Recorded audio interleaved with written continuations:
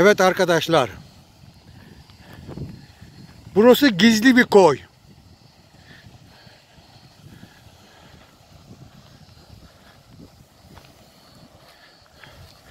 Burası Kara Burun Karaburun'un gizli bir koyu.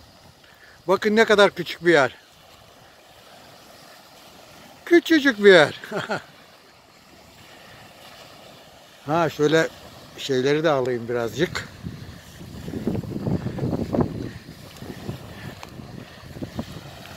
Biz buraya 20 sene evvel 9 Eylül Dağ grubununla gelmiştik.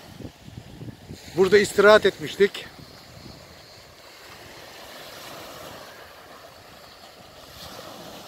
Burada gündüz 2-3 tane araba vardı. Akşam olunca gittiler. Dağları da çekelim. Şöyle. Karavan Palas da burada.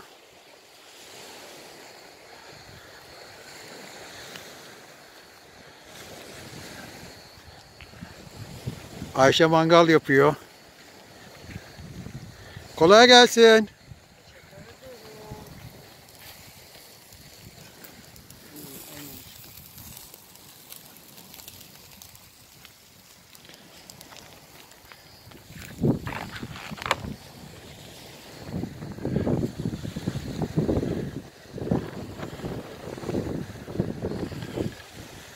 Bizden başka kimse de yok.